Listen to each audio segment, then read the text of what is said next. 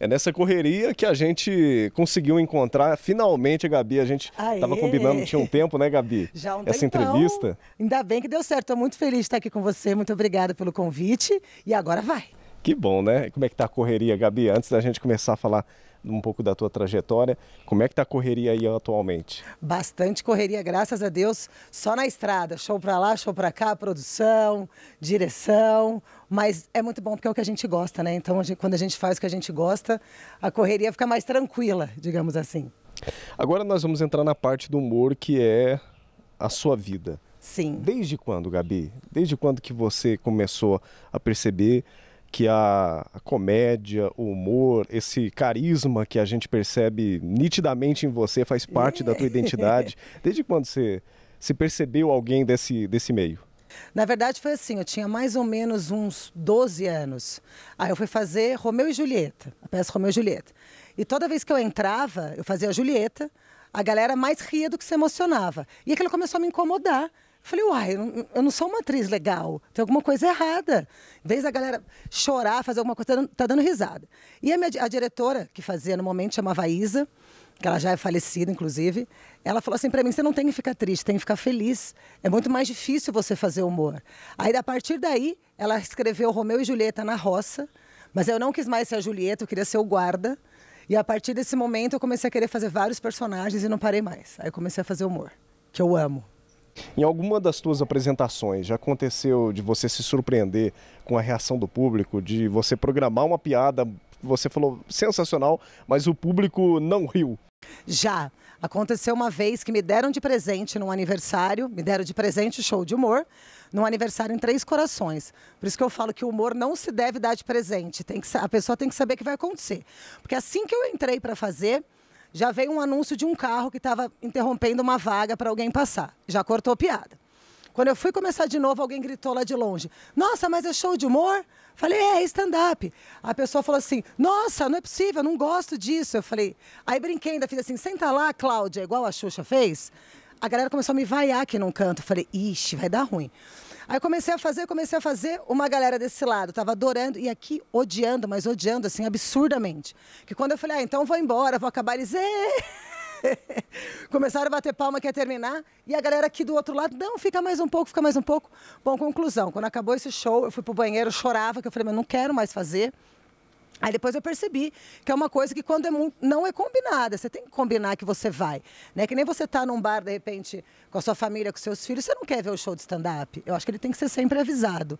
Mas já deu ruim dessas e outras de dar errado. Dá. E dá porque muito. não é todo mundo, né, Gabi? A, a parte do humor, não é todo mundo que às vezes gosta de determinado humor. Exato, A é pessoa se, acontece a pessoa se surpreender mesmo, Total. de fato, às vezes com uma piada que vai, que é inclusive o público de vocês, é um público com rock mais humor, é um Exato. público adulto já. É um público adulto, é acima de 16 anos.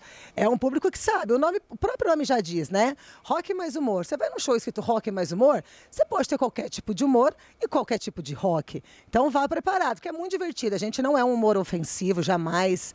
É um humor divertido. Eu falo que eu brinco que o meu humor é até meio bobalhão. Porque eu gosto de um humor bobalhão. Eu falo muito de casamento, muito mal do Landau em cima do palco. Então é pra gente se divertir dar risada. Mas surpreende, porque tem um palavrão ou outro, tem uma palavra que às vezes tem gente que não gosta. Então é por isso que o humor é muito singular, né? Você pode amar e você pode odiar, não adianta. O Landau que hoje na sua vida representa o quê? O Landau é meu funcionário. Assalariado CLT. Porque marido, né, gente? Nada mais que isso, né? Do que um funcionário escravo nosso. Mentira, na verdade, eu que sou meu marido. Landau, além de ser meu marido, é meu parceiro de palco. Então a gente tem uma, uma história muito legal aí. E por isso que o Rock Mais Humor já dura quatro temporadas. E é um show muito massa. Inclusive, ele se dispor a, a ser brincado, que eu digo, né? Deixar com que eu brinque com ele, deixar com que a coisa flua no improviso que eu gosto de fazer. E ele está sempre disponível para todo esse tipo de brincadeira. Então, se alguém ficar bravo comigo, ó, é tudo brincadeira, hein? E esse projeto que é o projeto atual de vocês, né? É, vocês é o estão conduzindo atual. ele já tem um tempo já. Já, o Rock Mais Humor, ele está entrando na sua quarta temporada agora.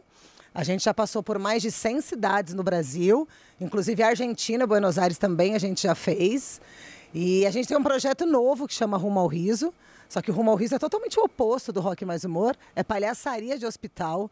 É um trabalho voluntariado com música, com livro, para alegar a, a galera que está precisando também. É muito massa. Esse projeto de vocês, não só esse, mas também a tua vida é, como atriz, como comediante, você passou em diversos programas, né? A gente vê nas suas redes sociais, inclusive, que não tem muito tempo, você teve De Noite, teve lá na, na Patrícia. Fala um pouquinho Sim, sobre isso aí. Muito legal. Eu, desde pequenininha, trabalho com televisão televisão, né, com teatro. Então, eu tive a oportunidade de fazer parte do elenco do Fantasia em 1997 no SBT. Foi muito massa, porque hoje eu vendo as pessoas por quais eu passei, tipo Hebe Camargo, Pedro de Lara, Gugu, o próprio Silvio Santos. É muito emocionante e a gente ter voltado agora em junho para esse reencontro depois de 27 anos, 26 anos, encontrar as meninas que gente, nós somos amigas até hoje. É, a gente tem um grupo no WhatsApp que a gente frequenta uma casa da outra. Então é muito legal. E ter sido escolhida uma das meninas para voltar nesse, nessa lembrança foi muito divertido. A Patrícia Bravanel é sensacional.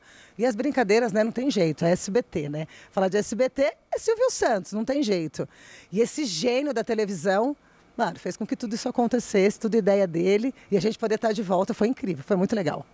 Esse papo aqui foi um papo muito contagiante, apesar que estamos numa matéria que a gente não pode deixar a Gabiruta aparecer aqui tanto com as palavras que usa, né, Gabi? Exatamente, desculpa, afinal, inclusive. Afinal, Gabiruta, por que Gabiruta? Cara, vou te contar, quando eu mudei pro stand-up, da, da parte de sketch de humor que eu fazia personagem, pro stand-up, eu perguntei, tinha um grupo no Facebook de várias meninas que são, eram muito legais, eu perguntei para elas, eu falei, cara, eu preciso ter um nome divertido. Só, só Gabi Roncati não está dando um nome de stand-up.